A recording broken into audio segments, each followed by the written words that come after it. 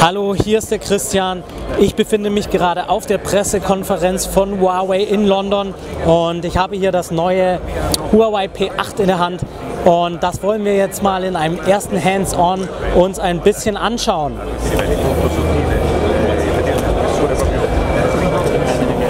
Das Huawei P8 kommt ähm, mit einem wirklich schicken und hochwertigen Unibody Aluminium Gehäuse. Wir können uns das jetzt hier mal genau anschauen.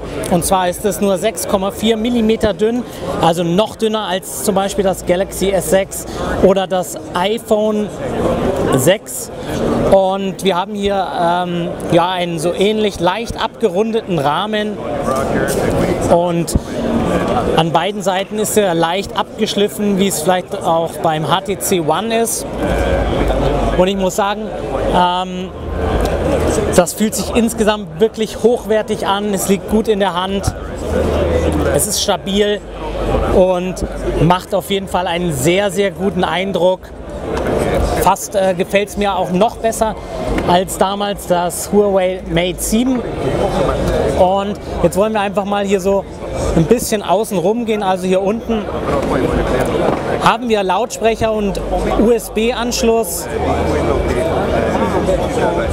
Auf der Seite haben wir hier einmal den Power-Button, der auch einen wirklich guten Druckpunkt bietet, ebenfalls aus Metall ist und leicht in das Gehäuse hier eingelassen.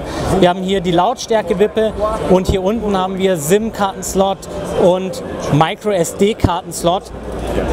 Und zwar ähm, gibt es hier wieder, wie schon beim MediaPad X2, einen Hybrid-Karten-SIM-Slot, der ähm, MicroSIM und NanoSIM aufnehmen kann. Die Frage ist aber noch, ob auch diese Version in Deutschland erhältlich sein wird. Als nächstes das Display ist beim Huawei P8 5,2 Zoll groß wir haben eine Full HD Auflösung von 1920 x 1080 Pixel und geschützt ist es mit Gorilla Glass 3. Wir haben ähm, außerdem eine spezielle Nano-Beschichtung hier auf der Vorderseite, die das Smartphone gegen Spritzwasser schützen soll. Und ähm, eine Besonderheit des Displays sollen äh, die Farben sein, die besonders kräftig und ähm, ja, lebendig sein sollen. Dann kommen, können wir uns mal äh, die inneren Werte noch anschauen. Und zwar ist das P8 mit einer Kirin 930 CPU mit acht Kernen ausgestattet und zwar ist das äh, wieder nach Big Little Prinzip. Also wir haben hier ähm, äh, zwei Quad-Core CPUs mit 2 GHz einmal und einmal mit 1,5 GHz. Des Weiteren haben wir 3 GB RAM und ähm, Versionen mit 16 und 32 GB Speicher. In Deutschland wird vermutlich zuerst die Version mit 32 GB Speicher auf den Markt kommen. Wir können mal gucken. Hier haben wir jetzt auch die 16 GB, äh, die 16 GB Version. Äh, eine 64 GB Version gibt es und eine 16 GB Version. Und hier sehen wir 10,46 GB sind nach äh, abzüglich des Systems noch frei. Dann ein großes ähm, Augenmerk hat Huawei beim P8 auf die Kamera hier auf der Rückseite gelegt. Und zwar handelt es sich dabei um eine 13 Megapixel Kamera. Hier sehen wir auch einen zweifarbigen Dual LED Blitz. Und die Auflösung ist zwar identisch zum P7, aber Huawei hat die Kamera stark verbessert. Und zwar hat es hier einen neuen Bildsensor ähm, mit vier Farben, also einen vierfarbigen Bildsensor ver verbaut, der besonders für helle Fotos und auch ähm, für weniger Rauschen bei schlechten Lichtbedingungen sorgen soll.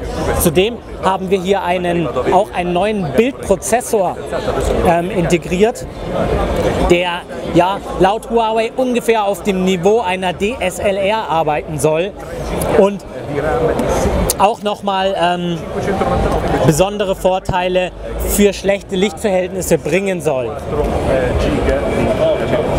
Wir können jetzt einfach mal äh, die Kamera-App starten, denn hier hat Huawei auch viele Verbesserungen gemacht. Wir können jetzt mal hier, ihr seht schon,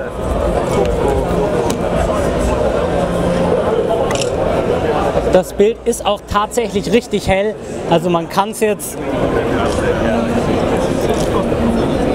vielleicht auch hier im Video ganz gut erkennen. Also im Hintergrund sind die Lichtverhältnisse tatsächlich nicht allzu gut. Aber das könnt ihr jetzt leider nicht sehen. Ähm, sind hier wirklich schöne Details auch im Hintergrund, im dunklen Hintergrund abgebildet. Und es gibt jetzt hier auch neue Funktionen für die Kamera. Unter anderem gibt es einen Modus, den nennt Huawei auf Deutsch Lichtmalerei. Damit kann man ähm, ja, verschiedene Lichteffekte bei Fotografien bei Nacht erzeugen, die dann ungefähr ja wie so Verzerrungen oder Spuren aussehen. Zudem gibt es einen Regisseurmodus und zwar können sich hier ähm, drei Smartphones, drei weitere Smartphones mit dem P8 hier verbinden. Und ähm, dann kann man ja, ein Video aus vier verschiedenen Perspektiven aufnehmen und der Nutzer des, also der Besitzer des P8 kann auch zum Beispiel dann Regieanweisungen auf die anderen Smartphones schicken und da kann man dann ganz äh, ja, schöne Videos damit drehen. Außerdem, ähm, wenn wir hier nochmal in den Modus reingehen, haben wir eben hier diesen super Nachtmodus. Der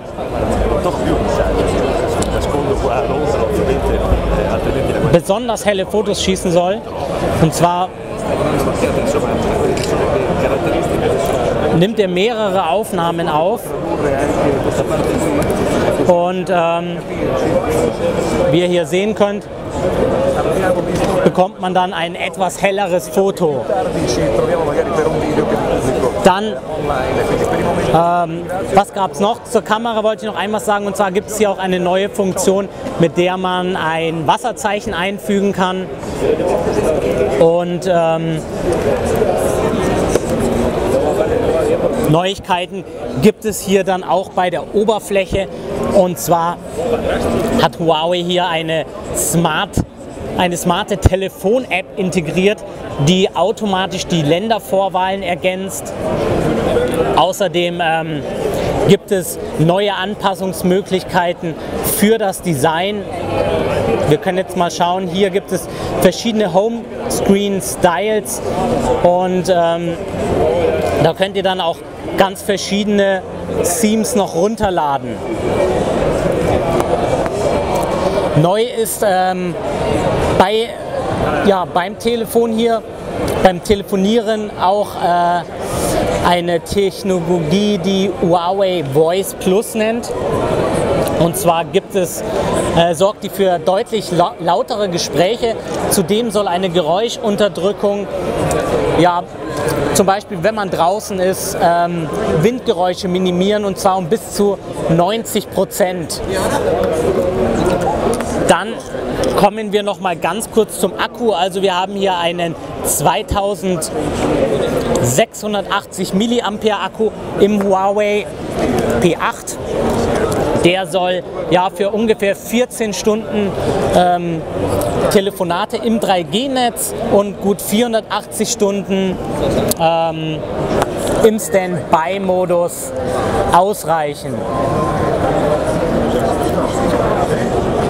Das, wie lange der Akku dann wirklich hält, wird sich dann aber natürlich erst in ausführlicheren Tests zeigen. Was gibt es sonst noch zu, zu, sagen? Wir haben natürlich hier auch eine Frontkamera, die löst mit 8 Megapixel aus und an Kommunikationsoptionen haben wir ähm, natürlich LTE Kategorie 4, wir haben WLAN 802.11, BG und N. Es gibt ähm, Bluetooth 4.1, NFC, natürlich auch GPS, aber eine Besonderheit ist eine neue, ja, ein neues Netzwerkmanagement von Huawei, das immer automatisch zwischen der bestmöglichen Verbindung ähm, ja, hin und her wechselt sozusagen. Also das erkennt, wo gerade welches WLAN-Netz oder welche Verbindung gerade am schnellsten ist und stellt diese automatisch ein.